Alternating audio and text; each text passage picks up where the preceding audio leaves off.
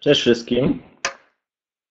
Widzę, że już jesteśmy online, tak więc jeszcze chwila, żeby te osoby, które jeszcze nie zdążyły się zalogować, się zalogowały.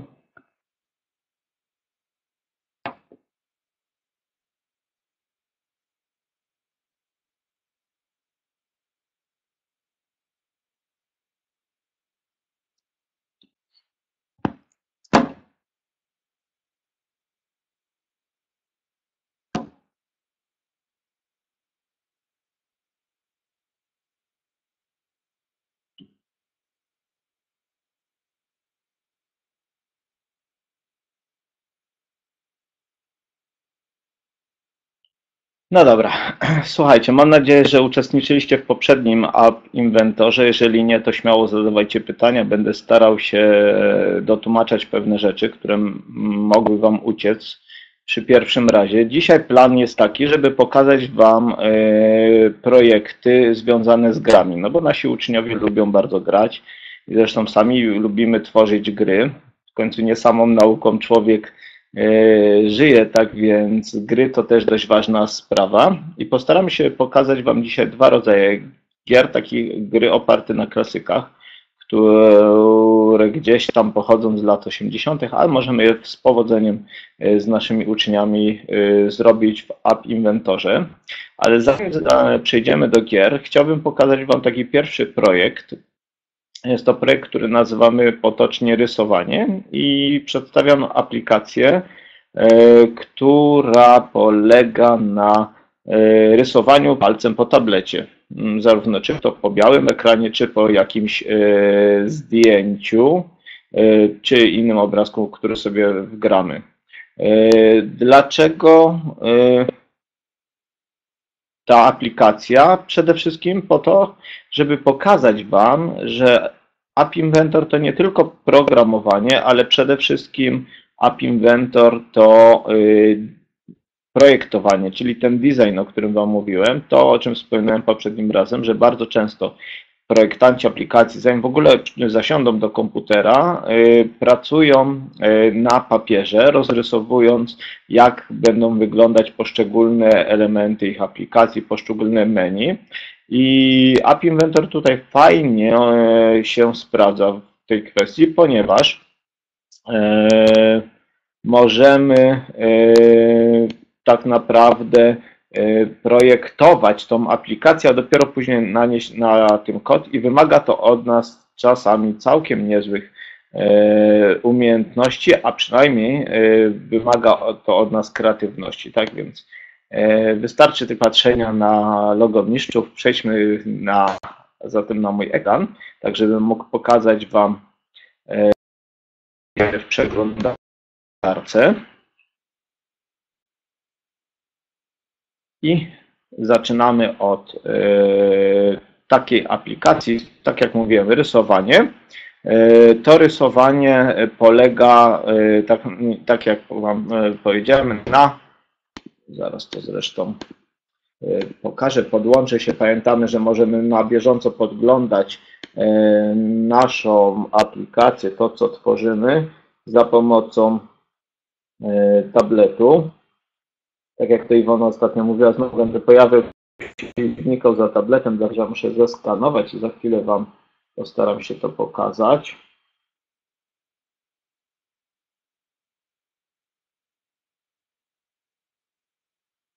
A. Teraz tak, mój podgląd się ukrył, więc tak, żeby było widać, Postaram się przybliżyć. Nasza aplikacja, to co widzicie tutaj, to jest biała kartka papieru, y, po której ja mogę malować za pomocą mojego palca. Tak. Pod spodem mamy paletę kolorów i różne narzędzia, takie jak czyść. Y, to akurat jest nazwa pliku do zapisu na dysku, a z drugiej strony mamy zdjęcie i przycisk zapisz.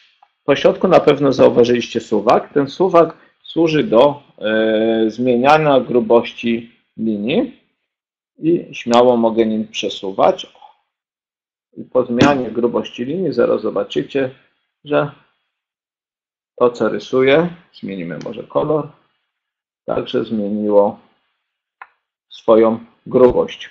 Tak wygląda gotowa aplikacja. E, dość prosta, prawda? I e, tak naprawdę e, dość popularna, jeżeli o to chodzi. Zawsze znajdzie się jakiś paint lub coś innego do rysowania, ale nie pokazuję Wam tej aplikacji, ponieważ jest ona jakaś odkrywcza, natomiast pokazuję ją Wam dlatego, ponieważ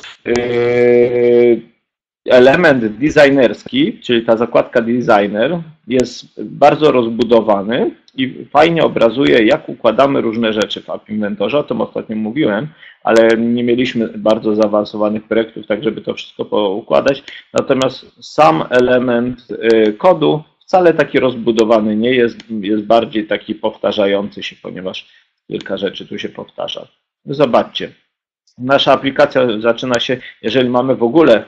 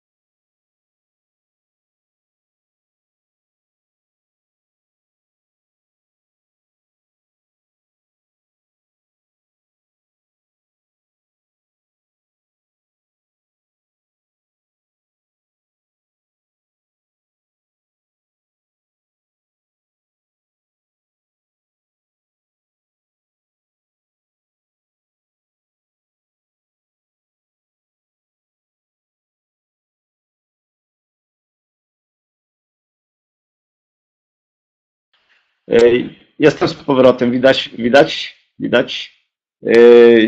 Ci, którzy wiedzą i byli na robotach, to wiedzą, że mieszkam w Świętokrzyskim, latają czarownice i wywala. W tym przypadku, tak szczerze, wyskoczył mi błąd Adobe R. Nie wiem czemu, ale już jestem. Dobra, nie wiem na czym skończyłem, więc spróbuję jeszcze raz. Udostępnię mój ekran, tak żebyście widzieli ponownie.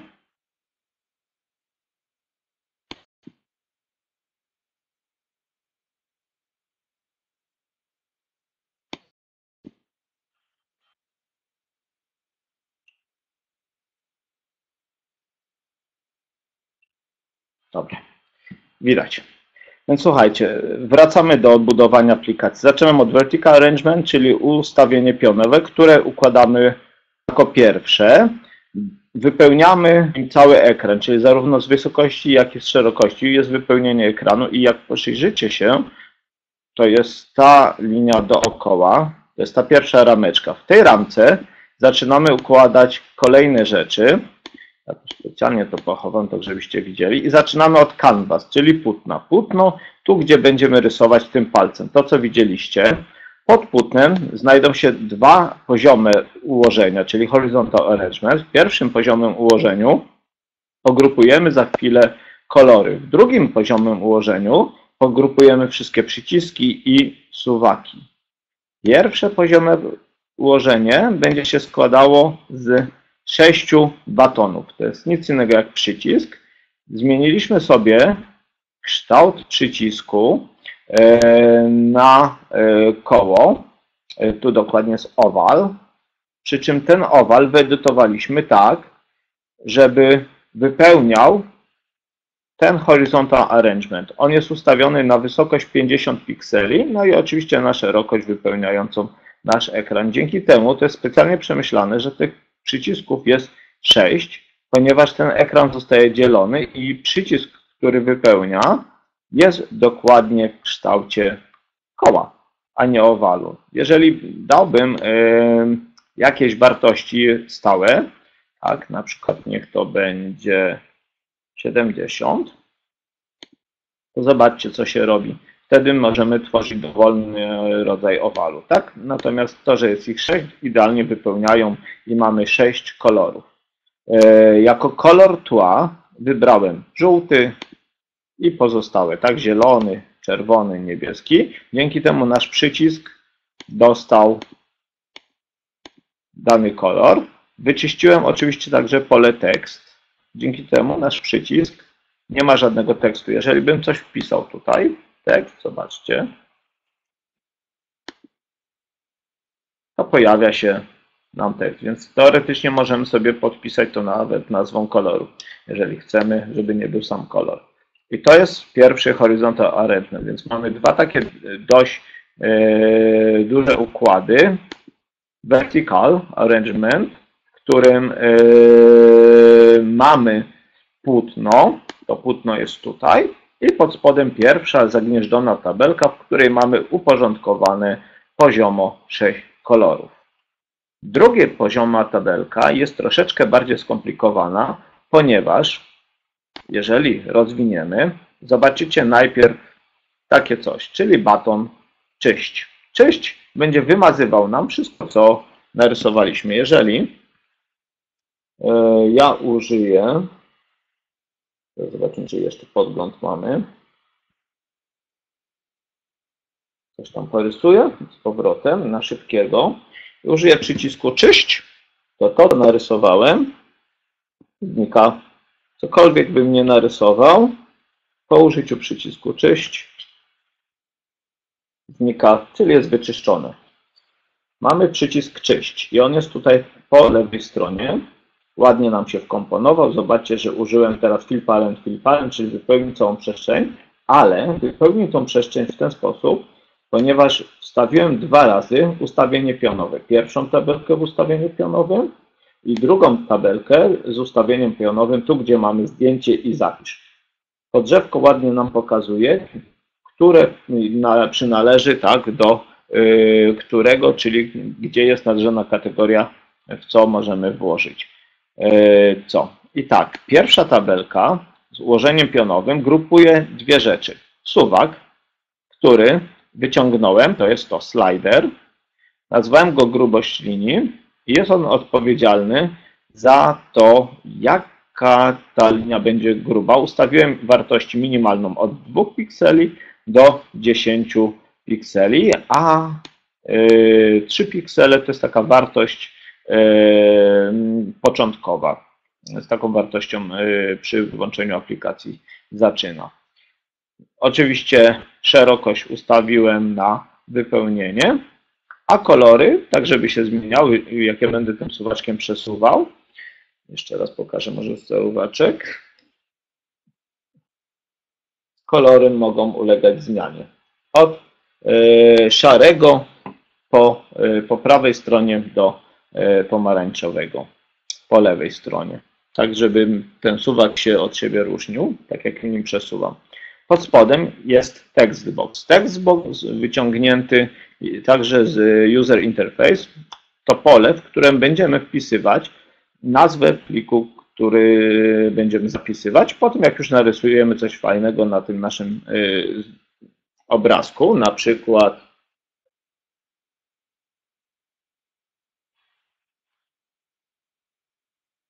arcydzieło, nasz Mona Lisa, Picasso, Możemy wpisać tutaj nazwę, na przykład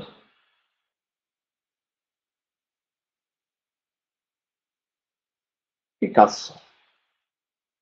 Lub jakkolwiek chcemy e, ten plik nazwać. Kliknięcie przycisku Zapisz, który zgrupowany jest w kolejnej tabelce pionowej, mamy zdjęcie i zapisz, spowoduje zapisanie tego pliku w domyślnym katalogu naszego urządzenia. Plik zdjęcie natomiast odpowiedzialny jest za wyciągnięcie zdjęcia z naszej galerii, więc po naciśnięciu tego przycisku e, dostaniemy żądanie dostępu do galerii i możemy wtedy z galerii wyciągnąć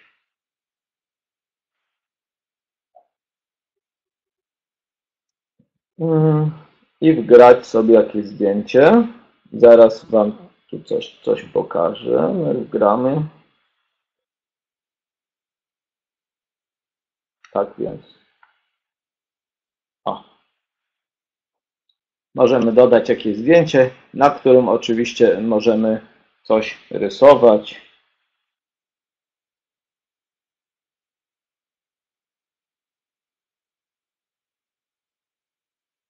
I tak dalej, i przy, przyozdabiać, tak?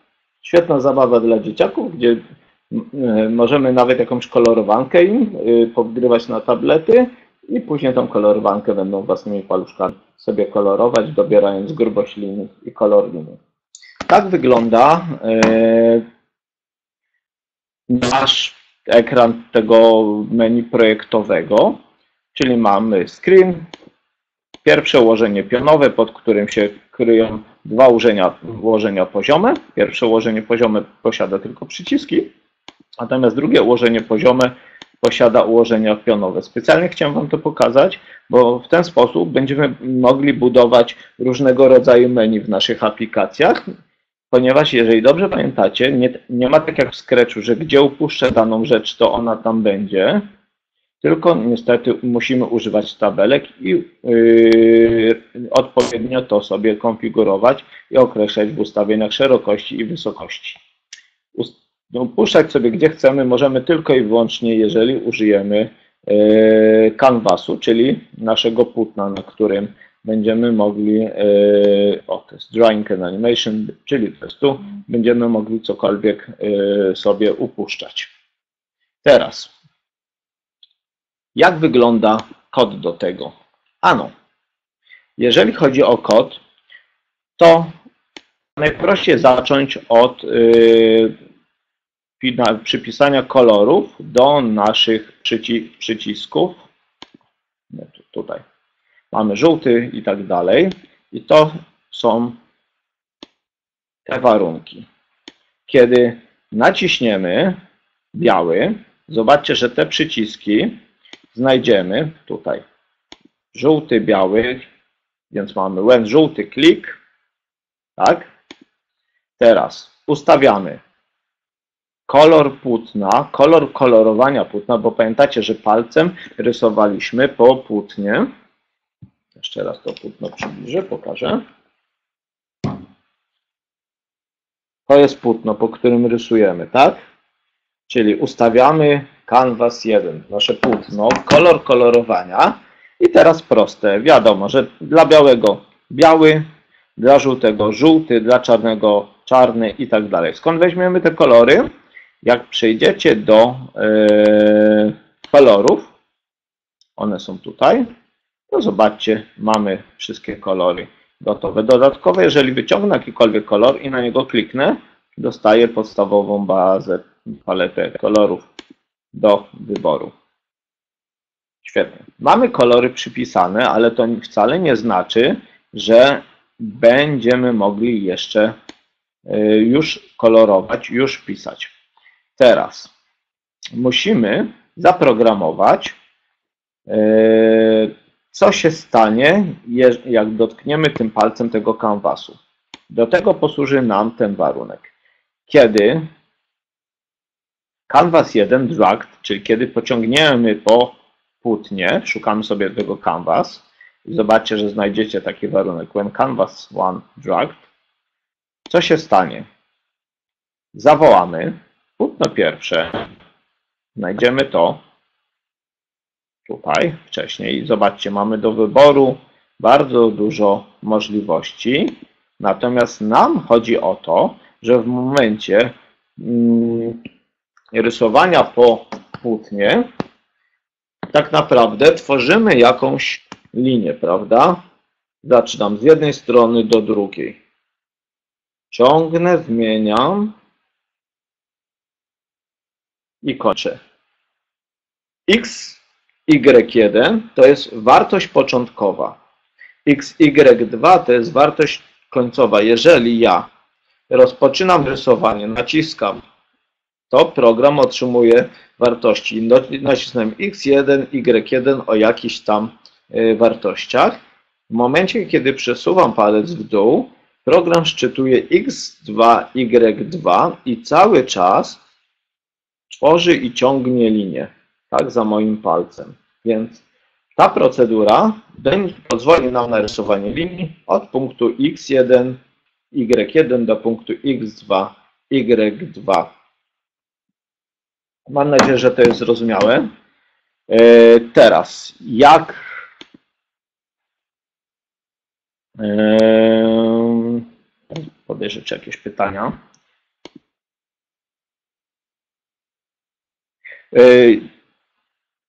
Ja już patrzę, bo rzeczywiście nie widziałem. Tak, ja pokazuję funkcjonalność. Słuchajcie, to nie da rady w godzinę yy, wszystkiego, yy, półtorej godziny wszystkiego zrobić, tak więc yy, później pokażę, gdzie możecie na spokojnie sobie to jeszcze raz przeczytać i spró- spróbować razem w domu.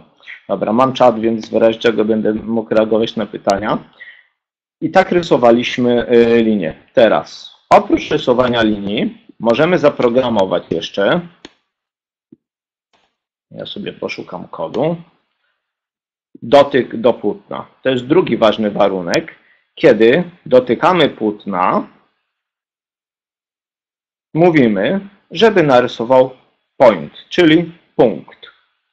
Punkt to po prostu kropka. Jeżeli ja pogrubię linię, mam nadzieję, że to będzie widać, i dotknę, to zobaczcie na moim wgranym zdjęciu pojawiają się różnego rodzaju punkty. To ja decyduję, jak wielkie mają być. W odróżnieniu od tamtego, tu jak przeciągnę palcem, znaczy jak przyciągnę palcem, mam tamto zaprogramowane, więc po, zrobi mi linię, ale jakby miał tylko to, że dotknięte, to by po prostu robiło kropki. Te dwa warunki odpowiadają za rysowanie. Przyciągnę ten do góry, tak żeby były obok siebie. Natomiast, jak widzieliście, nasza aplikacja ma troszeczkę więcej opcji niż rysowanie, prawda? No bo na co nam rysowanie, jeżeli nie możemy z nim y, nic zrobić, czy chociażby sobie zapisać. A co się stanie, kiedy źle narysujemy, czy będziemy chcieli narysować coś innego? To zacznijmy od tego, co mam obok, mianowicie od przycisku czyść. Czyść pokazywałem Wam. Czyści już obraz. Jak wygląda taki przycisk czyść? Bardzo prosto. Wyciągając z przycisku czyść, warunek kiedy czyść naciśnięte, to już zdążyliście zauważyć, że e, każdy z przycisków ma także kiedy coś tam naciśnięte, dany przycisk. Użyjemy komendy call canvas 1 clear. Call canvas 1 clear, czyli zawołaj, wyczyść płótno. Skoro weźmiemy to, to już wyciągniemy sobie z zawołaj o, płótnie, czyli wybieramy płótno po lewej stronie i mamy dany klocek. Jak już możemy rysować i czyścić, warto by było teraz to zapisać. Zapisz to kolejny przycisk i teraz, żeby móc coś e, zapisać, musimy po pierwsze nadać temu nazwę, bo jak nie nadamy nazwy, to on będzie zapisywał w losowych nazwach, a wiadomo, że chcielibyśmy jednak wiedzieć, że na przykład narysowaliśmy kotka, to ma się nazywać kotek, więc kiedy klikniemy przycisk zapisz, to był mm, Pokażę na designerze ten przycisk tutaj, zapisz. Tak. Co ma się zadziać? Ano. Przede wszystkim ustawiamy screen title, czyli tytuł screenu na wywołanie, żeby zawołać call canvas i teraz zjeżdżamy na dół i mamy tak. Save as file name. Zapisz jako imię. To imię wyciągniemy sobie stąd. Jak myślicie, pamiętacie, gdzie było wprowadzenie imienia? Tutaj, w tym textboxie, który mamy. O, właśnie, w tym miejscu. Tak?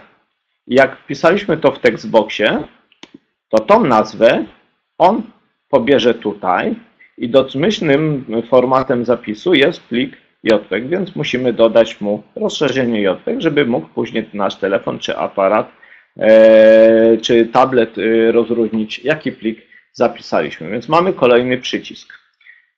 Teraz widzieliście, że e, można, mogłem tak, dodawać sobie zdjęcie, więc żeby móc dodać zdjęcie, E, użyłem następującego kodu. Ja sobie tu troszeczkę posprzątam. Przesunę to do, do góry i mamy coś takiego. Kiedy zdjęcie po wybraniu, to jest after picking, nie kliknięty przycisk, kiedy zdjęcie po wybraniu, bo klikając na to mi wybierze, ustawiam background image, czyli obraz w tle dla płótna na wybór zdjęcia. Powoduje to, że mamy jakby dwie warstwy. Jedna warstwa to jest tło, druga warstwa, tak, to jest tak jak w Photoshopie, druga warstwa, miejsce, na którym będziemy mogli rysować. Obydwie warstwy się nakładają, oczywiście druga warstwa jest przezroczysta i widzimy tylko to, co na niej narysujemy. I teraz, wiecie już jak y, y, zapisywałem, czyściłem, prawda, czyściłem canvas, ale w momencie klikania czyść wyczyściłem tylko tą drugą warstwę, po której rysowałem. Natomiast jakbym chciał, żeby wyczyścić również obrazek, to postanowiłem zaprogramować to czyść na tak zwany long click, czyli dłuższe przytrzymanie. Zwykłe przytrzymanie, ja trochę pomarzę, zwykłe przytrzymanie wyczyści tylko i wyłącznie pierwszą warstwę, ale jak przytrzymam dłużej, zobaczcie, wyczyściłem już wszystko. W ten sposób mogłem usunąć zarówno drugą warstwę, czyli tą, yy, co malowałem, jak i pierwszą warstwę tego obrazka, który ustawiłem. Jak tego dokonałem? Proste. Do drugiej warstwy oczywiście użyłem ten sam kod, możecie zobaczyć. Call canvas clear. Natomiast w pierwszym warstwie musiałem ustawić płótno, tak zwany background image, który wcześniej ustawiłem na zdjęcie selection, po prostu na pusty. Skąd wziąłem puste? Wyciągnąłem pusty string, który znajdował się w tekście i dołączyłem. Tak wygląda y, obraz do rysowania, tak zwany obrazek y, do rysowania, aplikacja do rysowania. Y, Ostatnia rzecz, która była zastosowana u mnie, to oczywiście ten slider, który jest dostępny i określanie grubości linii. I tą grubość linii, widzicie, przeciągając ten slider, mogę sobie regulować. Wyciągnąłem to oczywiście znowu. Kiedy grubość linii, czyli ten mój y, slider, który nazwałem grubość linii, tak, position change, czyli zmieniona pozycja, ustawiam znowu. Canvas 1, czyli płótno, po którym rysuję, tym razem używam line width, czyli długość, y, grubość y, linii, szerokość linii na thumb position. Thumb position, słuchajcie, to jest to, czyli pozycję kciuka, bo w momencie, kiedy ja kciukiem, czyli palcem, dotykam do... Oj, bo mi znikło.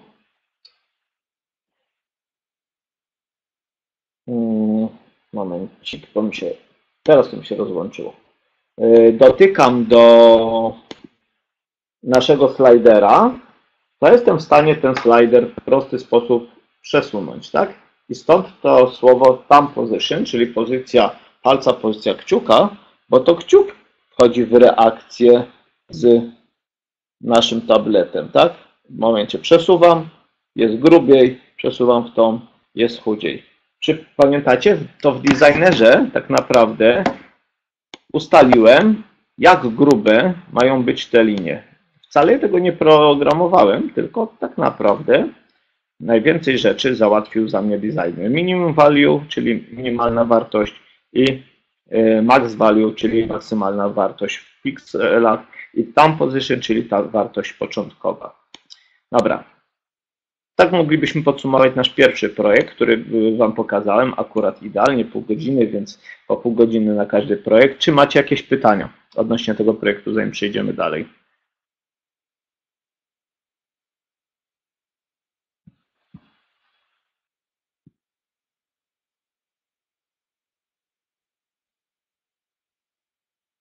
Czekam, czy Krzysztof coś dopuści. Jeżeli nie, to pozwólcie, że pokażę Wam kolejny program. Kolejny program e, to będzie Squash.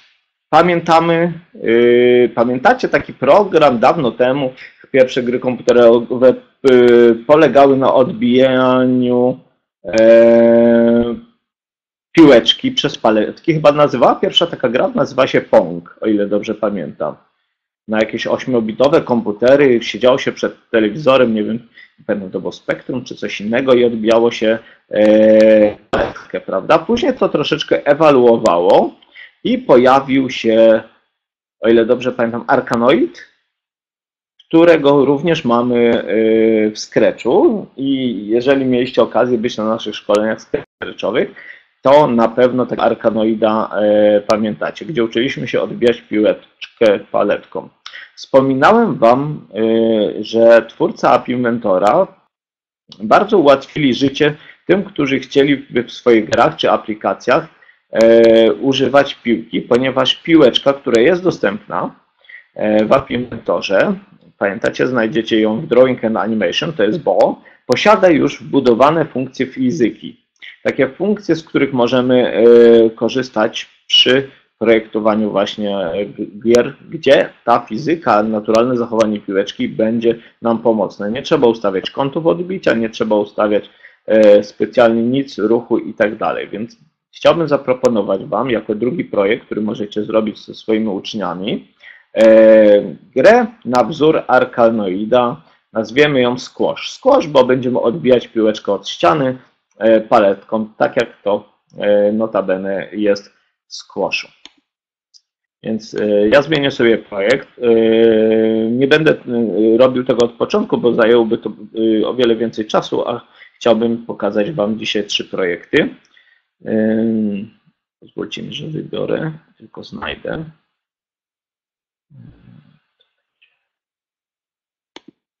Może być ten squash.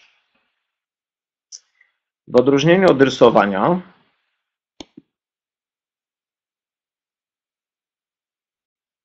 O, się. Spójrzcie, squash nie posiada zaawansowanego menu. Posiada.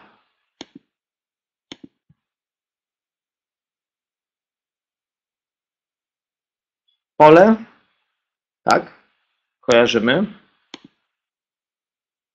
czyli canvas, posiada paletkę. Paletka to jest plik graficzny, tak zwany image sprite oraz piłeczkę, czyli ball. Użyliśmy tych trzech elementów.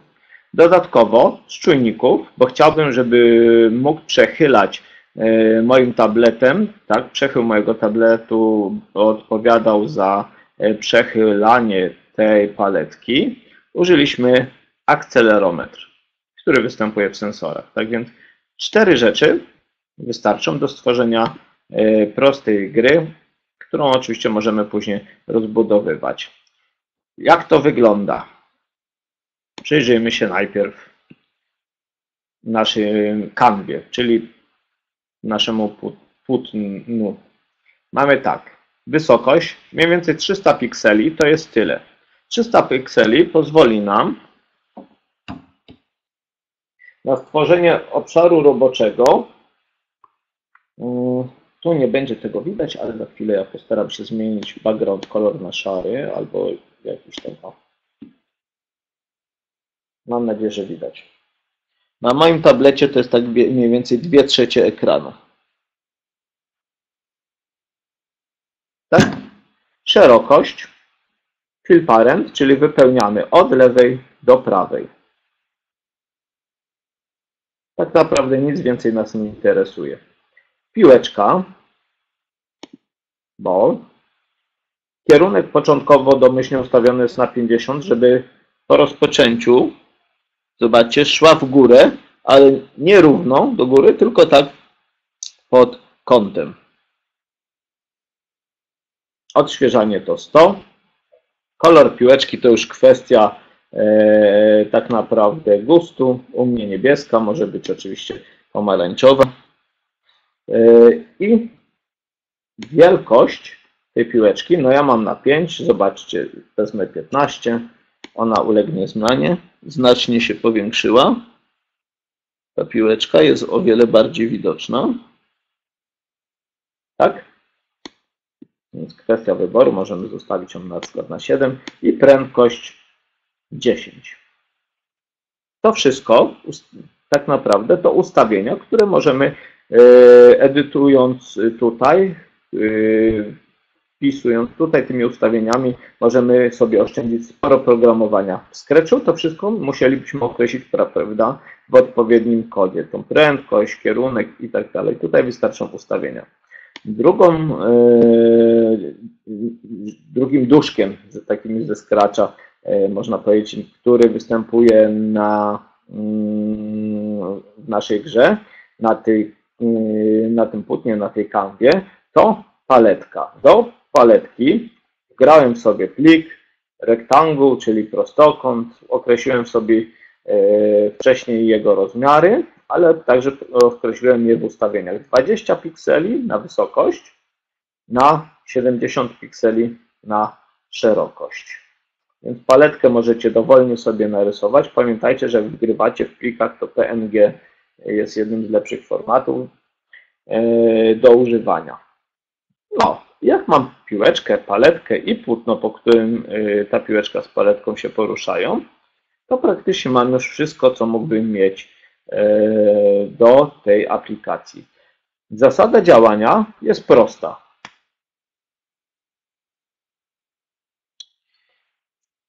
Po dotknięciu moja piłeczka zaczyna lecieć do góry. Spada. Ja przechylając yy, tablet, jest to mi teraz trochę ciężko zrobić, tą paletką, nie wiem czy to widać, poruszam, tak, żeby odbić tą piłeczkę. Jeżeli ta piłeczka spadnie poniżej, następuje reset gry, ona wraca do jakiejś pozycji początkowej i możemy grę rozpocząć dalej. Jakieś pomysły? Od czego zaczniemy? Od zaprogramowania paletki, czy piłeczki? Co byście zrobili najpierw?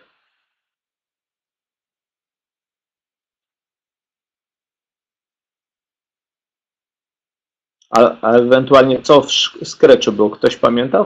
Yy, scenariuszu Scratcha co było pierwsze? Paletka czy piłeczka?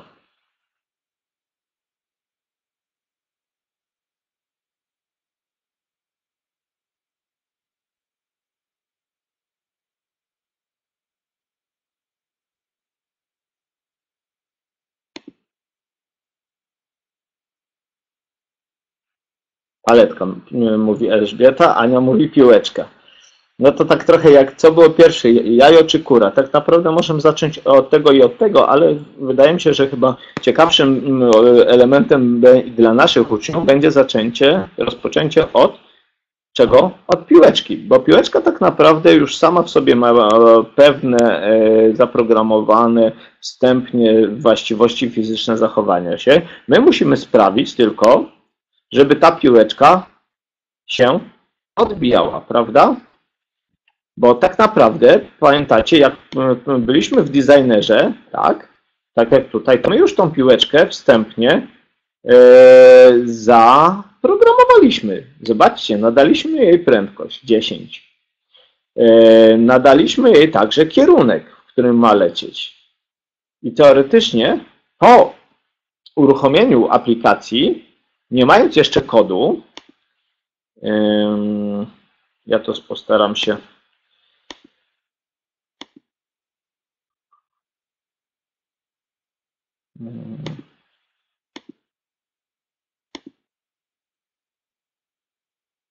no. Jeszcze raz, ja postaram się to Wam pokazać.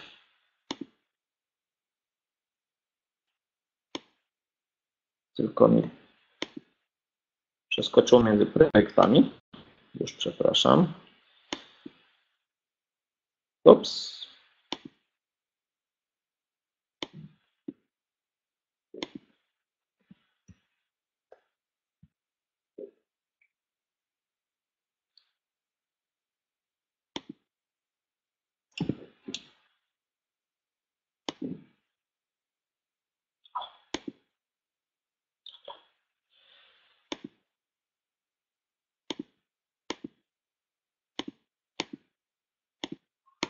Chwilowo zablokuję cały kod, żeby Wam pokazać, co się zadzieje z aplikacją w momencie, kiedy nie mam kodu. Żadnego wpisanego, natomiast y, wszystko, co mam ustawione, połączmy się jeszcze raz, ustawiłem tylko za pomocą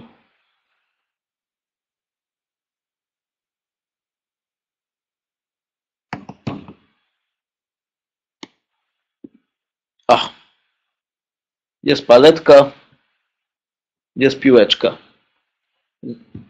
Nie wiem, czy widzicie. Ja zrobię sobie podgląd, tak żebym widział, czy widzicie. Gdzie jest piłeczka?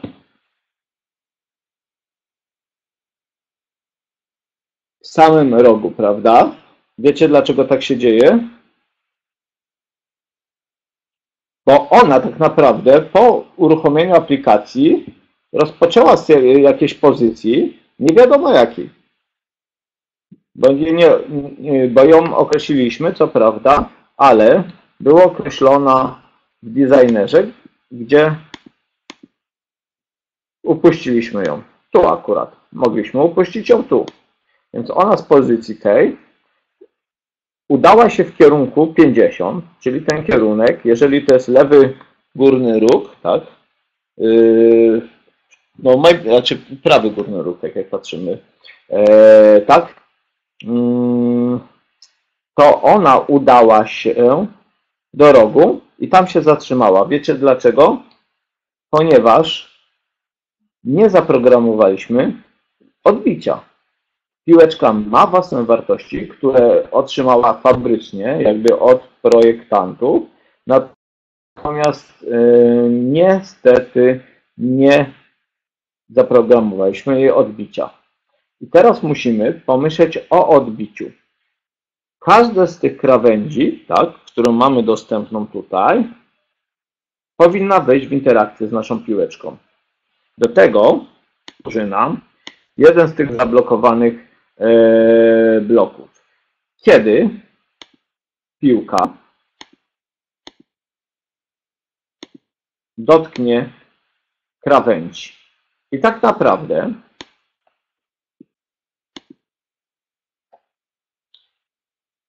na początku wystarczyłby nam tylko jeden kod. Mogę usunąć na bok. Wystarczyłby nam kod zawołaj, kiedy piłka dotknie krawędzi, zawołaj, żeby piłka odbiła się od krawędzi. W momencie, kiedy tak zrobię, to możecie zaobserwować, piłka śmiało od każdej krawędzi, prawda? Przelatuje przez naszą paletkę i tak sobie będzie krążyć. No ale w Arkanoidzie oczywiście nie na tym to polegało, prawda? Kiedy była możliwość przegrania gry? Bo wygrywaliśmy tak długo, jak piłeczka tu biegała i strącała różne rzeczy. A kiedy przegrywaliśmy? Jak ta piłeczka zeszła poniżej naszej krawędzi, prawda? Y, Poniżej naszej paletki i dotykała krawędzi y, u dołu. I teraz tak, w App Inventorze istnieje taka prosta zasada, że krawędzie i rogi są ponumerowane. Górna krawędź to jest jedynka. Tu jest dwójka. Tu jest trójka. Tu jest czwórka. Tu jest minus jeden. Tu jest minus dwa. Tu jest minus trzy. I tu w rogu jest minus cztery. To powiedzcie mi, której krawędzi dotyka, jak schodzi na dół poniżej paletki? Świetnie, Rafał, minus jeden. Co musimy zrobić? Tu podpowiedź oczywiście była.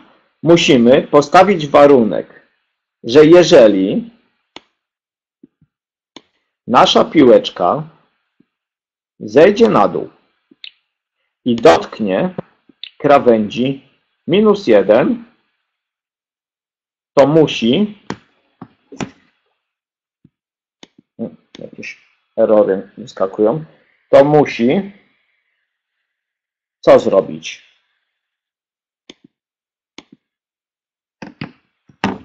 Hmm? Jakieś pomysły? Musi tą grę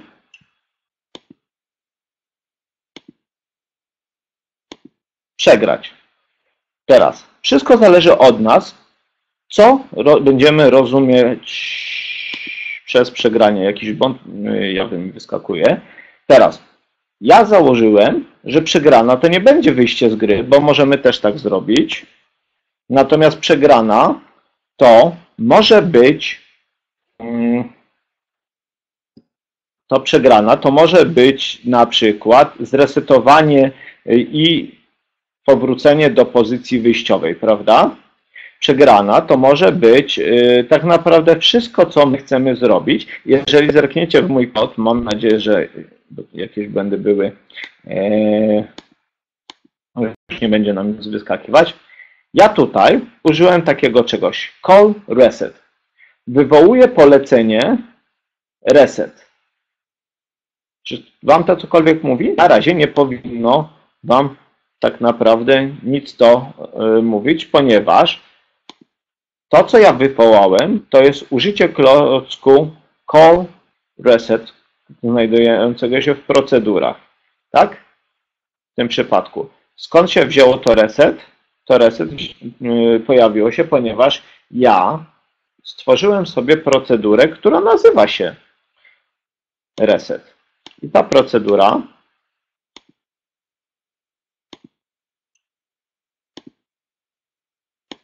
przesuniemy na bok, jest tutaj. Tak naprawdę zamiast wkładać color reset, mogłem zrobić tak. Też by było dobrze.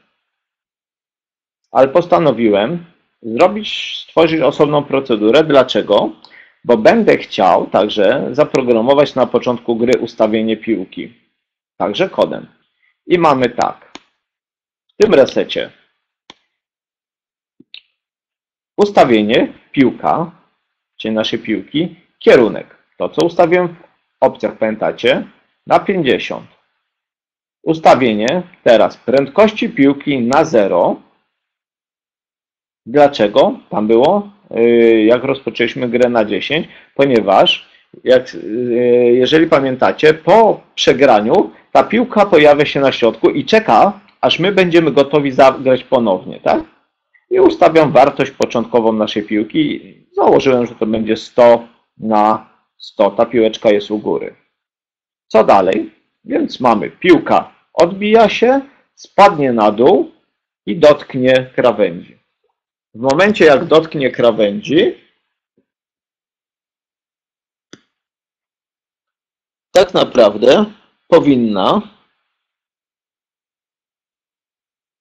a teraz, a teraz hmm, próbujemy jeszcze raz podłączyć. Ona tak naprawdę powinna e,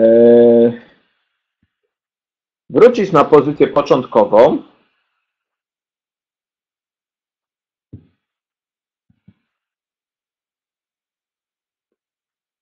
I czekać na nasz ruch. Zobaczymy, czy to działa. Jest. Wróciła czeka. Co dalej? Teraz musimy zaprogramować, kiedy ona ruszy.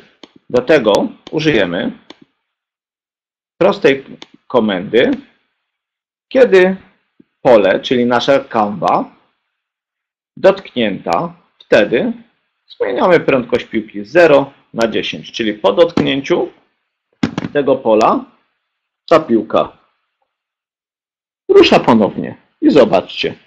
Ona przeleci, dotknie reset. Dotykam, rusza ponownie, przeleci, dotknie reset. Tak? I czeka na mój ruch. Co dalej? Zauważyliście, że przelatuje nasza piłeczka przez paletkę i nie wchodzi w ogóle w interakcję z naszą paletką. Od tego będzie kolejny kod, Mianowicie, kiedy piłka wejdzie w kolizję, czyli zetknie się z, no właśnie, z czym? W tym przypadku możemy pójść na łatwiznę i wybrać sobie AD. AD, czyli inne, ponieważ nie mamy poza piłką i paletką żadnych innych elementów, więc w ten sposób możemy zaprojektować, zaprogramować to tak, że piłka po dotknięciu z każdym innym elementem, w tym przypadku paletką, zachowa się tak, że odbije się od krawędzi z wartością minus 1. E, Ania, y, jak starczy czasu, bo stoper jest dość skomplikowany, to odpowiadam na Twoje pytanie, które zadajesz drugi raz. E, stoper w przypadku chyba tej gry nie wiem, czy miałoby zastosowanie, chyba że rzeczywiście ile czasu e, będzie. Licznik Licznik możemy zrobić przez zmienne, tak jak w Scratchu. Inicjalizujemy global name y, na jakąś tam zmienną i za każdym razem, kiedy na przykład dotknie paletki, zmieniamy zmienną o 1, prawda? Od paletki odbić. W przypadku zetknięcia z krawędzią wkładamy to tutaj. Plus 1. Jeżeli macie za sobą Scratcha, bez problemu będziecie wiedzieli, e, jak to zrobić, bo zasada jest dokładnie taka sama jak w przypadku e, tak naprawdę Scratcha. Ze stoperem jest troszeczkę ciężej, ponieważ nie mamy e, tu czasu i musimy, chcielibyśmy taki stoper zbudować całkowicie od podstaw. Dobra, co dalej? Słuchajcie, mamy paletkę, odbija się piłka od paletki, ale nie ruszamy paletką. Do tego kolejny, przedostatni yy, zestaw procedur. Mianowicie, kiedy zmienimy akcelerometr. Co się dzieje, kiedy zmienimy akcelerometr? Ano, ustawiamy pozycję X, bo paletka, pamiętacie, porusza się tylko w poziomie tak naprawdę. Ustawiamy pozycję X na x paletki i do tego wyciągamy tutaj zmienną lokalną x akcelerometra, czyli przechył naszego telefonu czy tabletu, tak, będzie przechowywany w zmiennej lokalnej, tak, i paletka, która ma pozycję daną x, będzie tak naprawdę reagowała na ten przechył, odejmując od swojej pozycji x wartość wychylenia. Czyli jeżeli paletka jest na x100, to odejmie od tego wartość przechylenia, która wynosi na przykład 10, tak i przesunie się prawo na 90 i tak dalej, i tak dalej. Y, zastanawiacie się, moja nie, się nie przechyla, bo ten tablet ma inną orientację i musiałbym zmienić tu ustawienie, mianowicie przechylać x do y. W momencie, kiedy przechylę tak, czy to będzie widać? O. Troszeczkę inaczej jest z tymi y, tabletami. To ona zmienia swój przechył. I teraz ostatnia rzecz na koniec, jeżeli chodzi o y, tak naprawdę tą grę, to dlaczego zrobiłem reset? Mówiłem o tym na początku. Żeby nie przepisywać dwa razy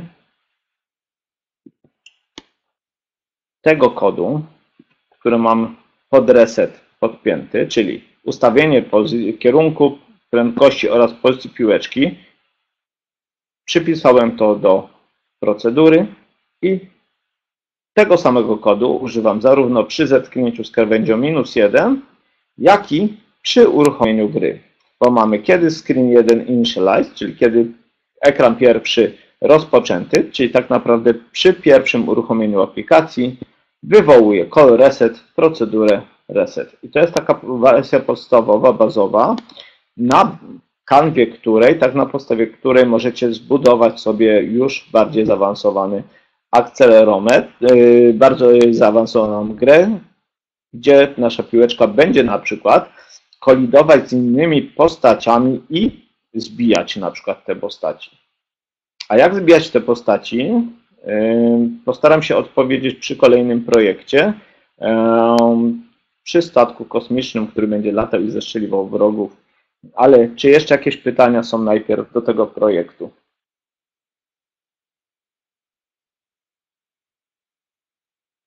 E, if then else. Mm, gdzie jest ten plik? Proszę bardzo. E, Już go.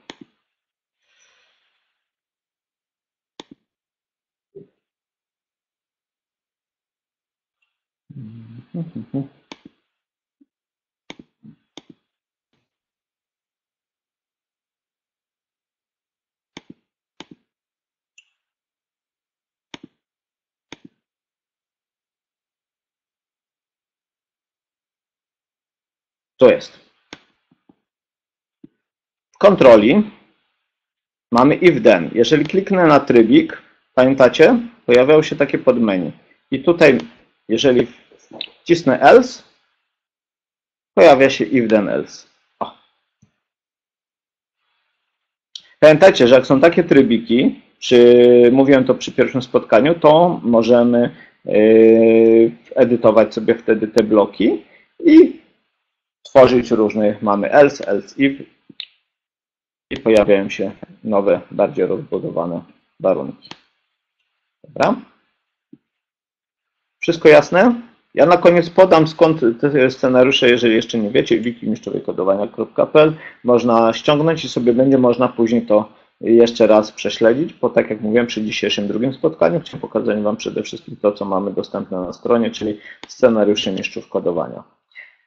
To trzecia gra ostatnia, idziemy zgodnie z planem, yy, czyli kolejne pół godziny. Tym razem mieliśmy tak, aplikację do rysowania, yy, grę yy, w odbijanie piłeczki, coś dla prawdziwych twardzieli, mianowicie strzelanka. Strzelanka, czyli space shooter, tak potocznie nazwany, polegać będzie na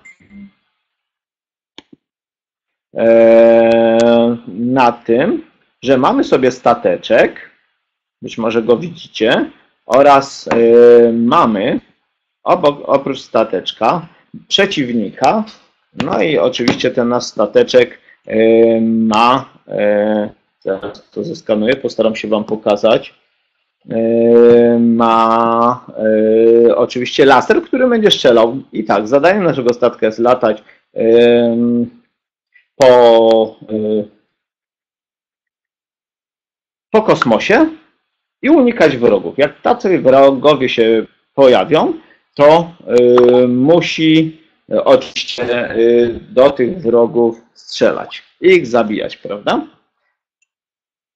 Popatrzmy w takim przykładzie, jak to wygląda w praktyce.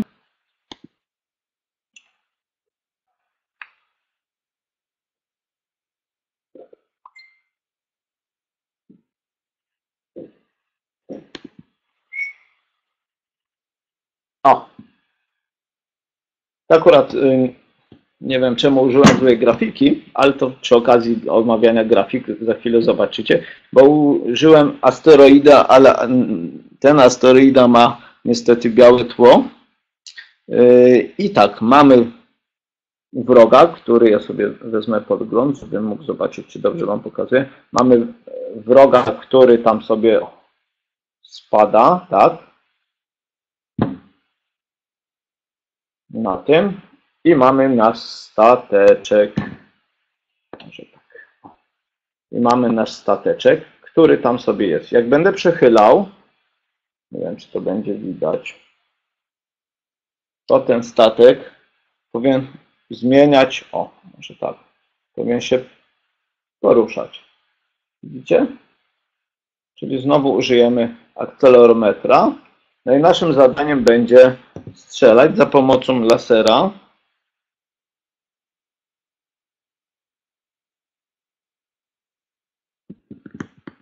Nie wiem, czy uda mi się to pokazać. O. Strzelamy za pomocą lasera pociskiem i w razie czego będziemy wbijać Graczem dobrym nigdy nie byłem, więc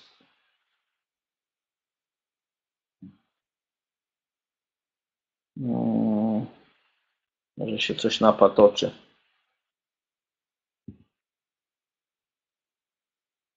O, o, o jest. Udało się zbić, nie wiem czy to było widać.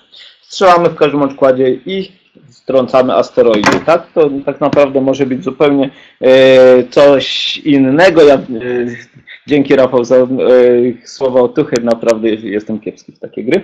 E, tak naprawdę możemy strzelać do czegokolwiek chcemy, to akurat asteroida. I asteroida, która pokazana te, też najprawdopodobniej bym, e, projekt pochodzi z jednego szkolenia, pokazane plik, jakiego pliku nie wrzucać, czyli że trzeba dbać o to, żeby to tło było przezroczyste, bo inaczej zobaczcie, ja mam tutaj tło naszej akcji e, czarno-białe, tak, a dokładnie czarny, a asteroid ma po prostu białe tło i to nie wygląda zbyt fajnie, jak to wszystko się e, tutaj tak nie zgrywa, prawda? Ale słuchajcie, do rzeczy.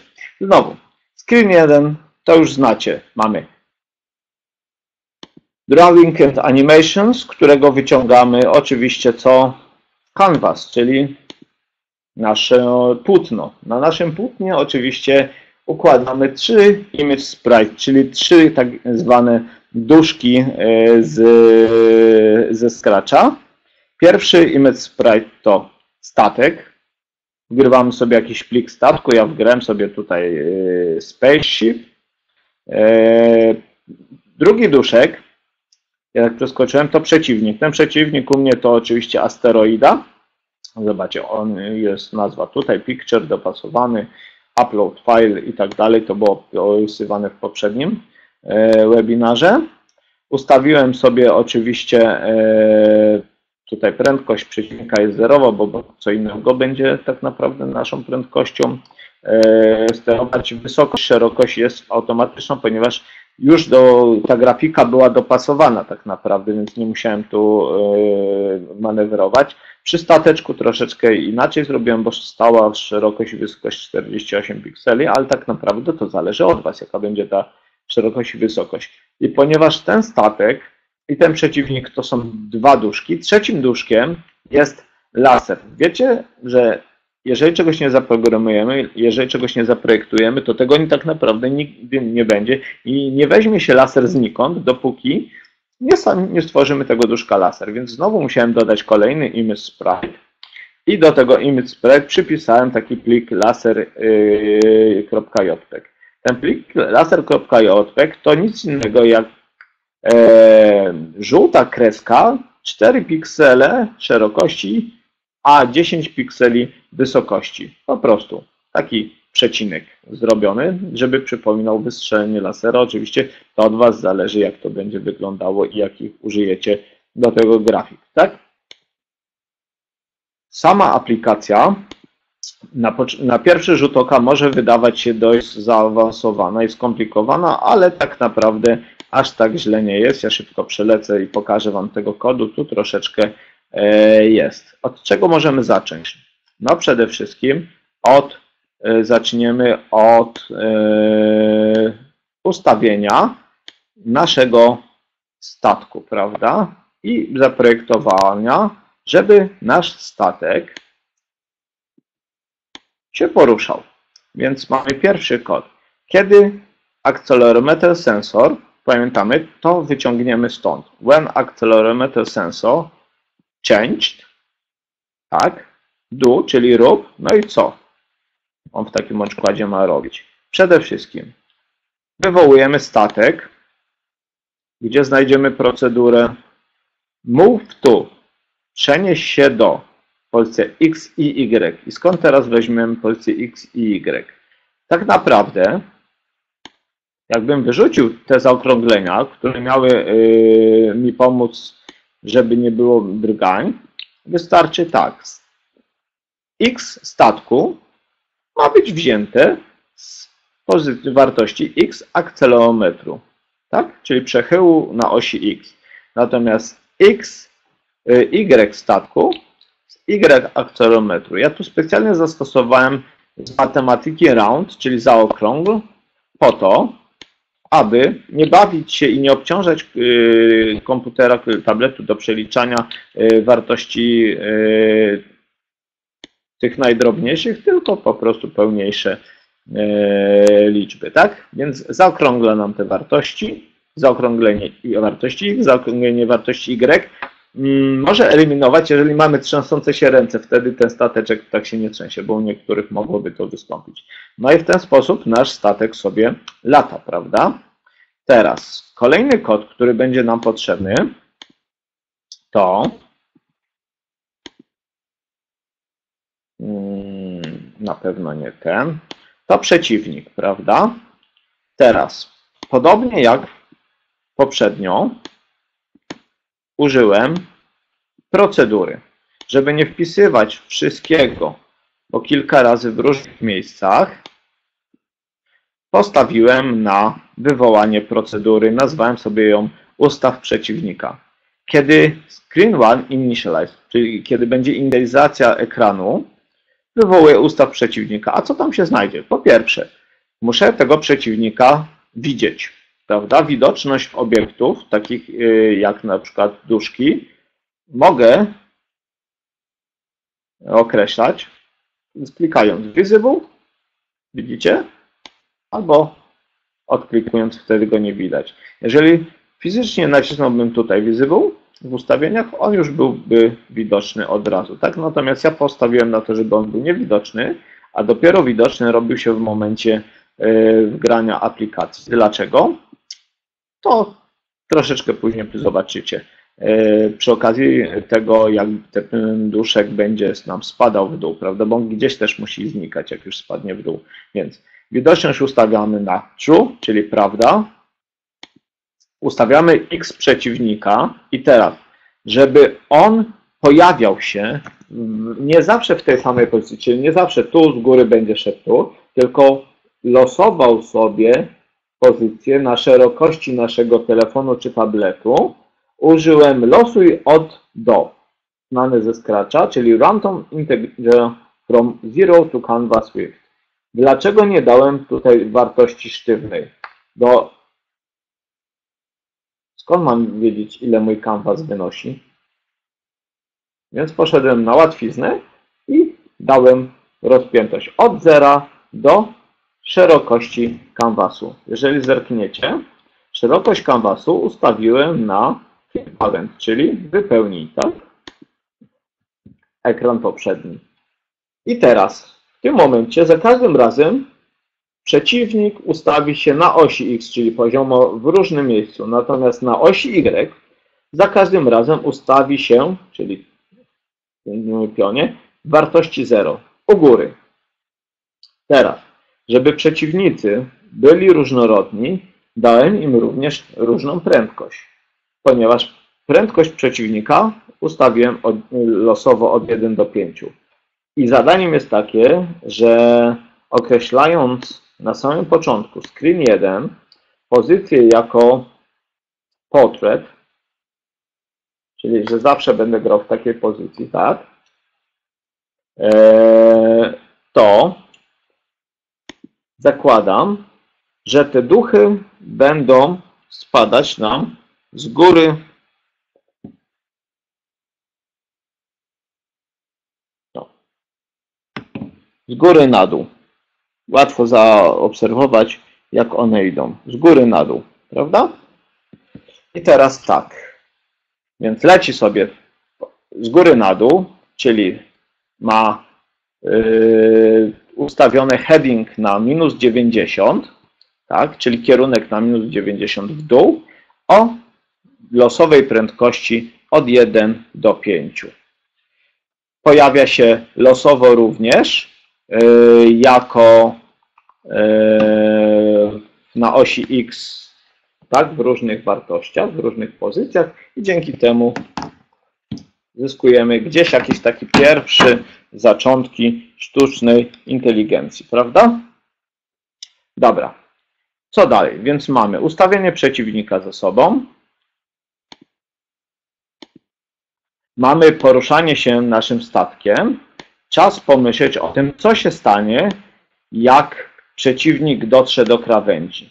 No i teraz tu jest ważna rzecz, bo kiedy nasz przeciwnik dotrze do krawędzi, prawda, pamiętamy, że nasza krawędź y, ze skłosza, pamiętamy, to minus 1, to co ma zrobić? I znowu pomogłem sobie procedurą i wywołałem taką procedurę, która nazywa się ustaw przeciwnika. Pamiętacie? Przed chwilą ją omawialiśmy. Czyli, żeby nie powtarzać tej procedury, w drugim znowu y, warunku użyta jest i nasz przeciwnik ustawia się przy rozpoczęciu gry, wykonuje tą procedurę, tak? Czyli when screen initialize, ustaw przeciwnika i w momencie, kiedy już to wykona to wszystko po kolei, całą tą procedurę zleci na sam dół, robi dokładnie ponownie to samo, czyli wraca do góry i spada z powrotem. I słuchajcie, to jest najciekawsze. Nie mamy klonowania, tak jak w Sketchu, nie mamy e, kilku duszków, tylko za pomocą jednego sprite'a, tak, czyli naszego przeciwnika, on pojawia się u góry, spada na dół, znika i w tym samym momencie pojawia się u góry. To kółką jest cały czas ten sam osobnik, który po prostu e, wraca potem na górę i spada. To jest taki e, wybieg, oczywiście może być więcej, wtedy będzie pojawiał się, e, jeżeli będziemy później duplikować je, tak, tworzyć ponownie, możemy mieć tych przeciwników o wiele więcej, ale taka jest prosta zasada, tak? Więc statek lata, przeciwnik spada na dół, i z powrotem pojawia się do góry. Kto by pomyślał, prawda? Większość ludzi pomyśli sobie, że to generowany kolejny, kolejny przeciwnik, a to po prostu ten sam e, duszek, który powraca e, nam na górze. I teraz tak, co się stanie z naszym przeciwnikiem? No naszego przeciwnika można zestrzelić, prawda? Jak go zestrzelimy? Musimy do tego użyć laseru, i teraz tak. Jak będziemy strzelać? Przeważnie się strzelało, jak się grał na klawiaturze czy myszką, no to e, tak naprawdę używaliśmy wtedy tak, lewego przycisku myszki, tam jakieś Call of Duty czy inne takie rzeczy. Natomiast tutaj mamy tablet. Jak się strzela na tablecie? Dotykając tabletu, prawda? Pamiętacie, jak uruchamialiśmy piłeczkę w yy, naszym poprzednim projekcie? Mianowicie dotykając kanwy, tak, czyli naszego płótna. I też tak będzie, że wystrzelenie tego laseru będzie w momencie, kiedy dotkniemy naszej kanwy. I tak naprawdę, tu już jest kod gotowy, ale ja bym go rozebrał. Zaczynamy od czegoś takiego. Kiedy dotknę ekranu, ustawiam X naszego duszka laseru na x statku podzielone przez szerokość statku na pół. Dlaczego tak zrobiłem? Bo nasz laser przy uruchamianiu na statku hmm, nie wiem, czy to będzie widać. O, on jest teraz w rogu. Musi mieć wystrzeliwać laserem tu szczupka. Jeżeli nie zrobimy i nie podzielimy tego ekranu na pół, y, tej, tej szerokości statku, to ten laser gdzieś będzie wy, y, wystrzeliwał z lewej czy tam z prawej strony, już nie pamiętam. Natomiast w momencie zastosowania y, takiego wybiegu, że x statku dodaliśmy, do x statku dodaliśmy szerokość statku dzieloną na pół, powoduje, że wystrzeliwuje z samego czubka. Ustawiamy y na e, lasera na Y statku. Dzięki temu ten laser wychodzi ze statku i to jest ważne. Mm, ustawiamy widoczność tego laseru naprawdę, tak żebyśmy mogli go widzieć, prawda? Prędkość na przykład na 20 i kierunek, jeżeli yy, przeciwnik spadał minus 90, to kierunek tego duszka e, laserowego musi iść 90, czyli naprzeciwko.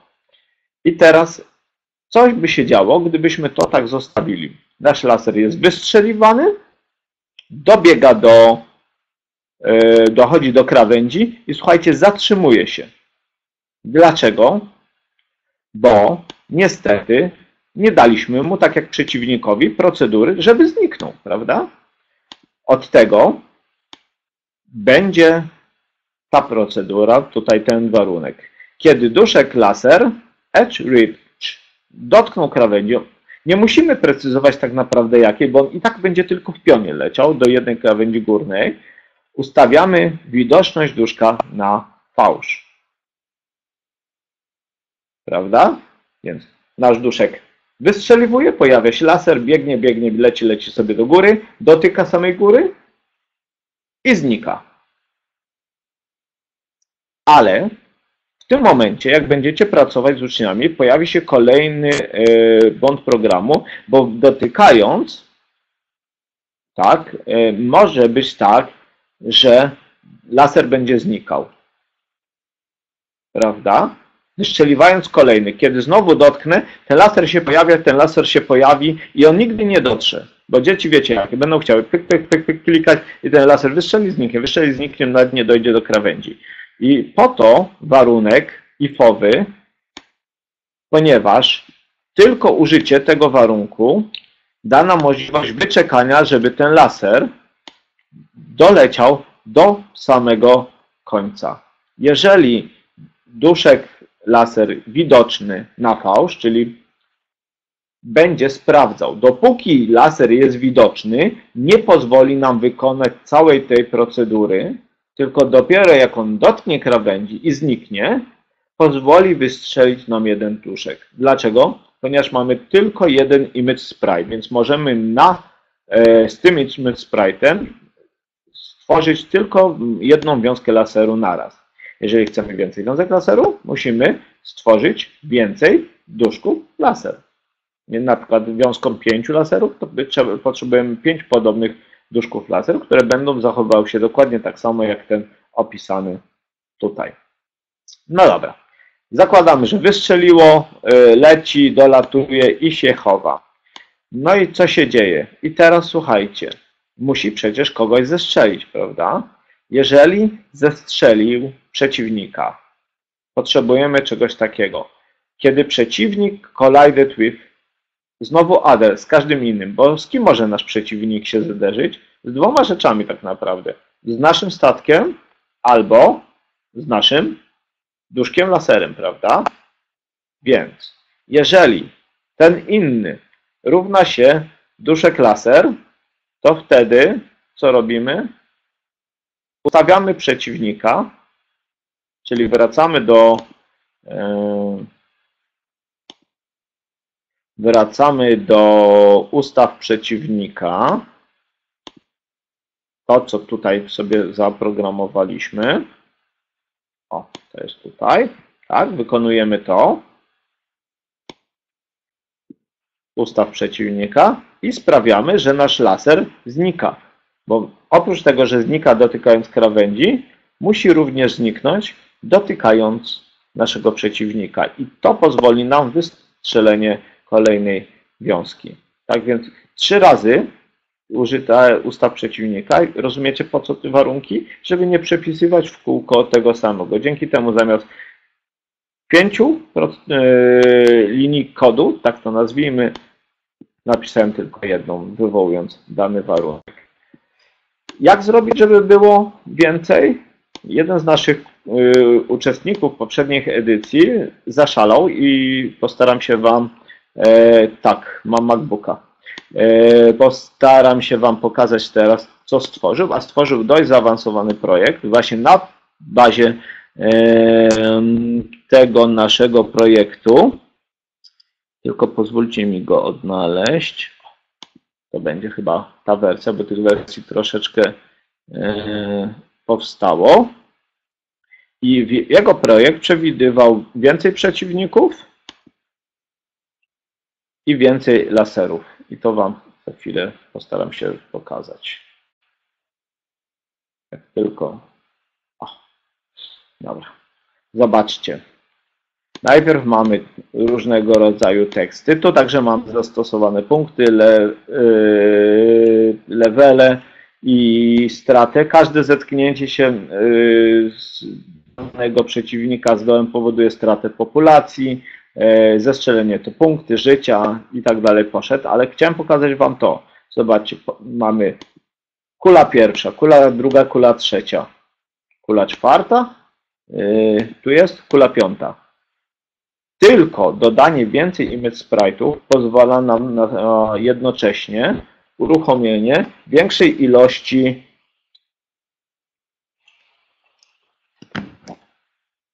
Mam nadzieję, że to będzie widać. No.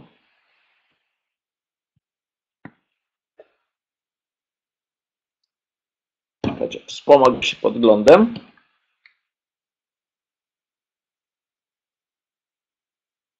O. Zobaczcie, on potrafi wystrzeliwać kilka pocisków naraz, tak? Spadają asteroidy i też tych asteroidów, one zależnie od losowości, jest kilka naraz. W ten sposób e,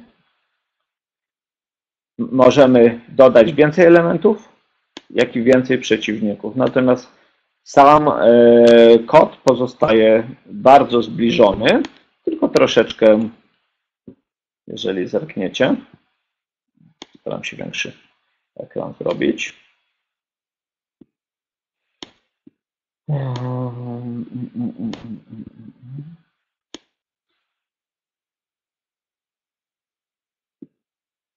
O. Kod się powiększa. Kiedy pierwszy wróg dotknie krawędzi, co się dzieje, kiedy dotkniemy kanwasu? Zobaczcie, wyszczeliwuje bullet 1, bullet 2, bullet 3, bullet 4 i tak dalej. Tak więc to, co staram się Wam pokazać, to taki e, kod początkowy, kod bazowy, który mam nadzieję będziecie e, wykorzystywać, rozwijać i wspólnie ze swoimi uczniami będziecie tworzyć, e, zaczynać taką przygodę z App Inventorem od właśnie tego typu projektów, gdzie można wykorzystywać już jakiś początek i rozbudowywać to o kolejne kody. Tak więc słuchajcie, godzina 20, jeden, mamy 10 minutek, zadawajcie pytania, postaram się odpowiedzieć jak tylko potrafię. Co jeszcze dotłumaczyć, co jest niejasne, w czym mogę pomóc? E, strona, o której mówiłem, to oczywiście wiki mistrzowiekodowania.pl, to tam znajdziecie e, wszystkie scenariusze dotyczące Apinwatera, zarówno te mistrzowskie, jak i część scenariuszy y, napisane przez MIT i przetłumaczone przez nas. Ania, stoper, stoper, stoper. Wiesz co, nie mam przygotowanego stopera tutaj do aplikacji, żebym y, mógł teraz pokazać, bo on gdzieś był, więc nie jestem w stanie, natomiast napisz na grupie app inwentorowej i poszukamy ci tego stopera, bo stoper opracował jeden z moich kolegów yy, i on gdzieś jest zagubiony. Tylko tak szczerze dawno nie używałem i nie wiem, bo ponieważ nie ma czegoś takiego w yy, app inwentorze jak yy, czas, jeżeli wejdziemy w jakikolwiek projekt, E, nie ma czegoś tak timer, prawda? Jak stoper, który był e, w Scratchu. Sami musimy e, niestety spróbować sobie to wyciągnąć. Możemy oczywiście wyciągnąć zegarek. Mm, tu jest clock w sensorach i z tego zegarka próbować wyciągnąć różne rzeczy, tak? Tak jak datę. Natomiast niestety samego stopera wbudowanego nie ma i to jest dość spory kawałek kodu. Tak jak mówię, nie pamiętam, czy Michał, czy Mirek, jeden z naszych trenerów kiedyś próbował ten stoper tam rozwieźć, bo było do czegoś potrzebne, natomiast to jest tyle kodu, że tak z pamięci ciężko. Trzeba by było, e, musiałbym tego poszukać, tak więc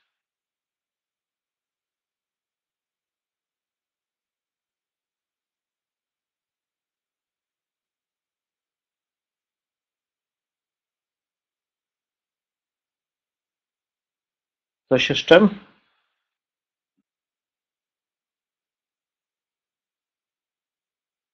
Napisz takie mówię, Ania, napisz na, na, na, na naszej grupie, yy, wtedy pod, pod postem wyciągniemy i postaramy Ci się ten stoper yy, gdzieś tam pokazać. Tylko w tej chwili nie jestem w stanie go zlokalizować.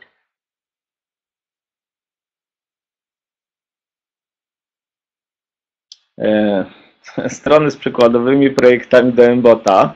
Mm, no dobra. E, przykładowe projekty do Mbota. E, na wiki mistrzów kodowania mm, są dwa scenariusze. Ten jeden scenariusz tam z prędkością, on może być użyty y, z embotem, natomiast trzeba by było sięgnąć do repozytorium embotowskiego albo yy, przy okazji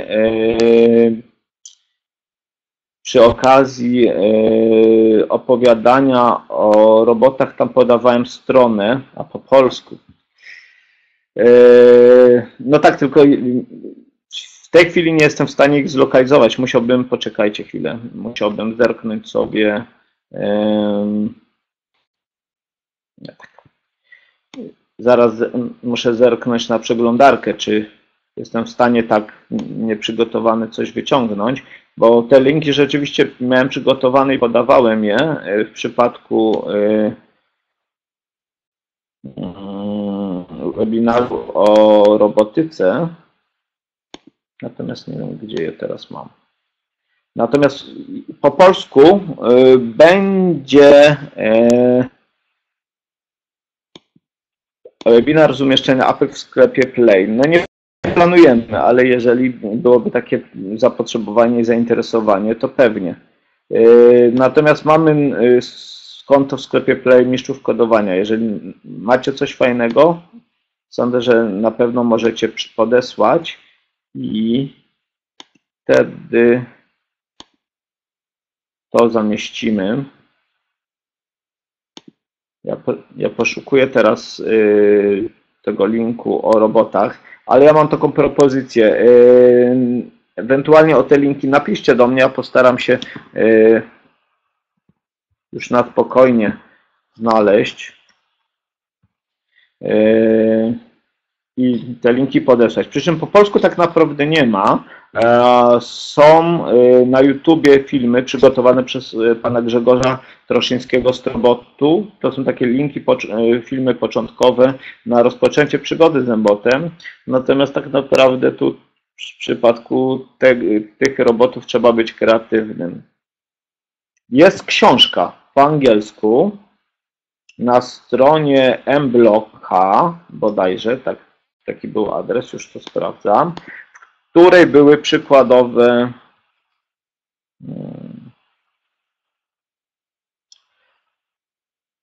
przykładowe projekty i scenariusze lekcji, które e, można właśnie z takim e, M-blokiem e, było zrobić.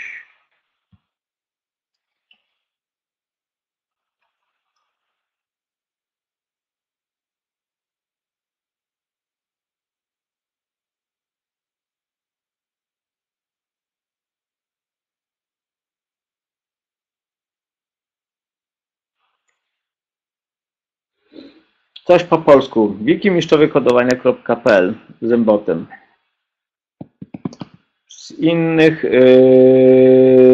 z innych yy, no powiem wam, że jest ciężko niestety. O, mm, jeżeli chodzi o boty. Tak samo jak o Inventora, nie ma za bardzo y, materiałów po polsku, dlatego że w Polsce jeszcze, jeszcze się to y, niestety nie rozkręciło na tyle.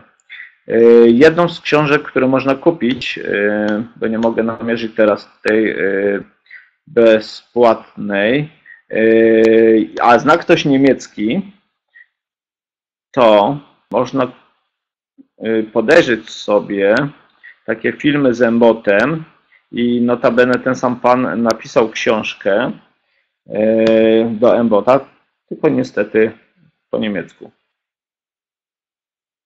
Mm. Y, Możecie, jeżeli nie macie tabletu, jeszcze raz y, Irena powiem, możecie zainstalować sobie emulator na komputerze i wtedy tak naprawdę możecie podglądać to, co robicie w App Inventorze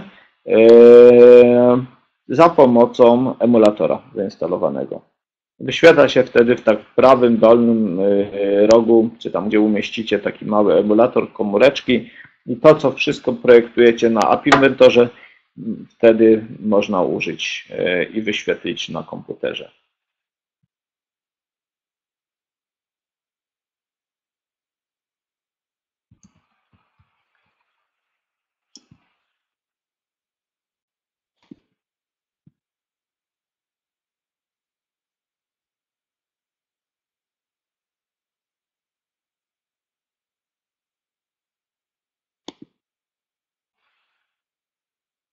Emulator. Emulator jest na e,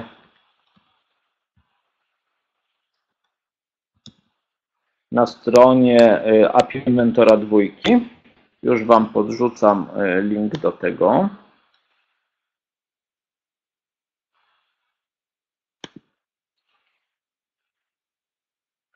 Wspominałem o tym na pierwszym API Inventorze. Mamy tutaj instrukcję, jak zainstalować zarówno na Linuxie, na Macu i na Windowsie nasz emulator.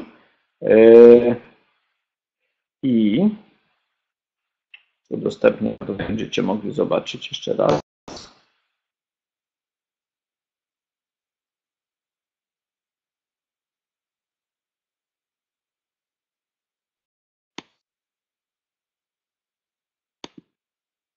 I zobaczcie, emulator wygląda tak jak tutaj taki symulator komóreczki. Tak więc wchodzimy na adres, który napisałem, ściągamy sobie instrukcję, yy, ściągamy sobie yy, tak samo emulator, który jest dostępny na stronie głównej App Inventora. I mamy wszystko krok po kroku ładnie yy, opisane, jak taki emulator zainstalować.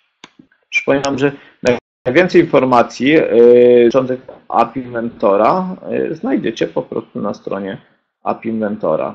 Jeżeli troszeczkę języka znacie, to tutaj są zarówno tutoriale, forum, gdzie wymieniają się różnego rodzaju projektami, no ale przede wszystkim zapraszam Was na Zapraszam Was na grupę mistrzowie kodowania App Inventor, gdzie przez ten już jakiś czas wymienialiśmy się różnymi programami, różnymi, różnego rodzaju różnego rodzaju projektami i pomysłami, ale także można tam uzyskać pomoc, jeżeli o to chodzi. Agata, akcja do zamówienia Makey Makey. Ha, no potrzebna by była tak naprawdę firma, i, która mogłaby to sprowadzić i wystawiać faktury na szkoły, prawda? Ja jestem tylko i wyłącznie nauczycielem, ale e, jeżeli mm, nie wiem, być może mistrzowie kodowania jako są na Allegro, no fajnie, jako stowarzyszenie chcieliby się tym zająć, to czemu nie? Ja wiem, że jest duże zainteresowanie Makey Makey, bo miałem okazję je ostatnio prezentować i i wszystkim się podobało. Aneta, po ile są na Allegro? Na Ikea? Bo Cruz do 190, o, ta, taniocha. To jeszcze ktoś e, kupił po dobrym kursie albo ściągnął bezpośrednio, bezpośrednio z Chin. Jeżeli ściągnął z fabryki e, tak zwane leżaki, to 190 to jest duża cena. Ale jeżeli kupił oryginal, oryginalne, te najnowsze wersję z y, Stanów, no to jest dobra cena, bo to jest 50 dolarów.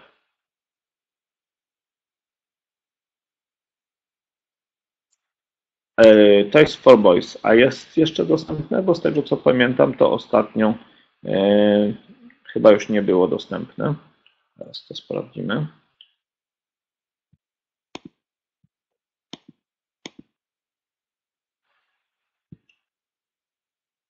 No właśnie, już nie ma. On ostatnio był na Konrad, czy, jak, czy jakoś tak, jak się ta strona nazywa, tak więc no musicie szukać, jeżeli jesteście zainteresowani. Ewentualnie sporo poroz, porozmawiać z kolegami, koleżankami, ściągnąć z Ameryki. No niestety koszt przesyłki z Ameryki, e, nie, teraz, teraz mówimy o takim urządzeniu Makey Makey, mam je gdzieś głęboko schowane, ale jeżeli chcecie, to zaraz dajcie mi momencik, pokażę.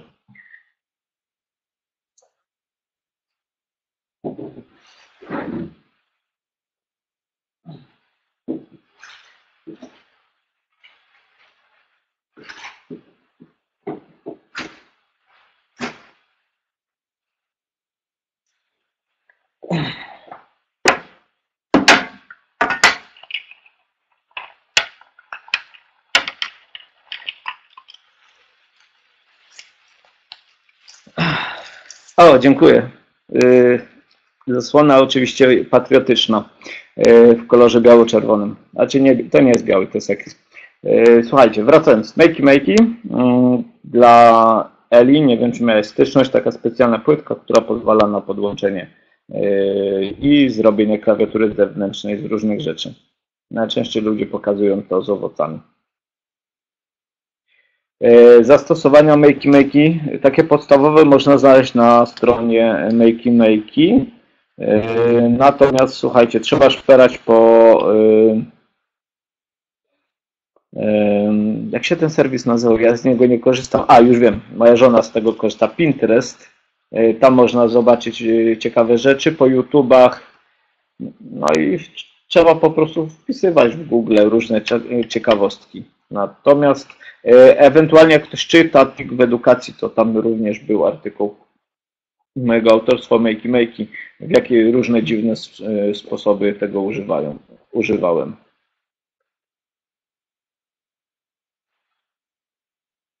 Mm. Napisz w tej sprawie Agata, e, proszę, do, na kontakt małpa mistrzowie-kodowania.pl i wtedy na maila, na którego, z którego napiszesz, przyślemy zaproszenie. Jeżeli ktokolwiek chce, chce dołączyć do grupy yy, app inwentorowej mistrzów kodowania, to sądzę, że mogę to powiedzieć, żeby napisał właśnie na kontakt yy, małpa mistrzowie kodowania.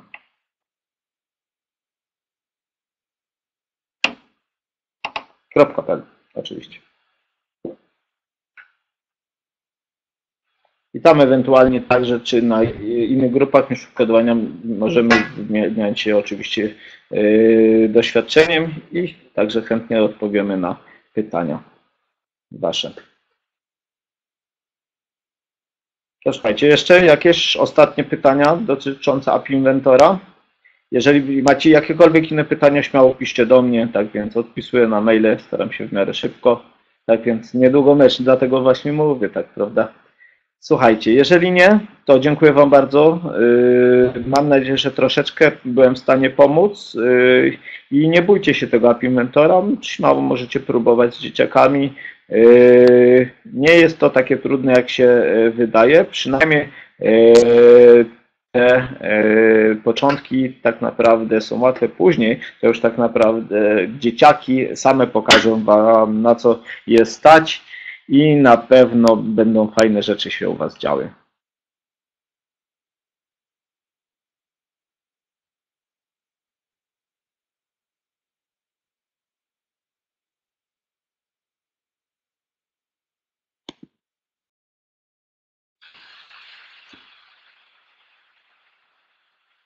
Agata, nie ma problemu. Staram się pomóc zawsze. Możecie pisać. Dostaję tak kupę maili, więc kilka więcej nie zrobi różnicy.